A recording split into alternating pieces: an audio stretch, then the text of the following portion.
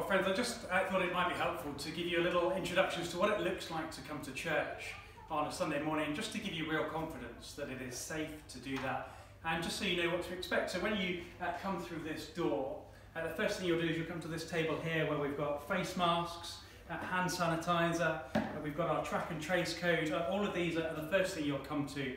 Uh, so we'd ask you to, to just use a little bit of this and make sure your hands are clean, and everybody will be doing that. If you have the track and trace app, then we'll just ask you to scan in. Uh, that's been given to us by the NHS.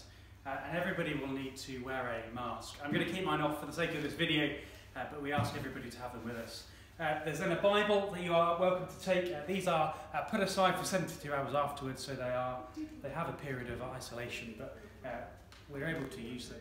Uh, the other thing that we'll then do is we'll then be someone here to welcome you and to, uh, to make sure that you are, well, you know that you're welcome, uh, and then just to direct you through step by step. So you don't need to guess, uh, there'll be someone here to guide you through it, and then uh, we'll come into the church building. Again, there's notices everywhere, uh, just encouraging us to, to make sure we maintain our two metres, and just a few little hints and tips to remind us of. And as we come into the church buildings, you can see all of the pews are laid out. Uh, so there is a two metre gap between them, and one family unit can have a pew. There's also lots of individual chairs set out. So if you come on your own, um, you don't feel like you need to take up a pew and stop a family, uh, but it's all laid out as you can see. Uh, Simon's going to follow me in. Um, in line with government regulations, so we can still do church, although it's quite different, it is safe um, to come. Everybody who is sitting as part of the congregation will keep their masks on. And I hope that this just gives you uh, uh, some confidence that everything that we do here is in line with the government regulations. We are allowed to stay open. In fact, they've encouraged us to stay open.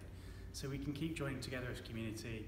Uh, we've got all the things we need. And the other thing is that there's a one-way system. So though you'll come in through this door, everybody leaves following the arrows uh, through the side door. So there's just a one-way system. So we do all that we can uh, to stay safe, uh, to keep each other safe.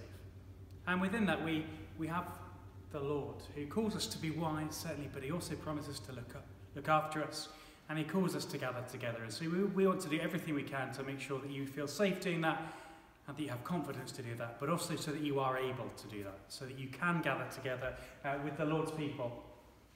And uh, we hope that that just helps, and we look forward to seeing you on Sunday.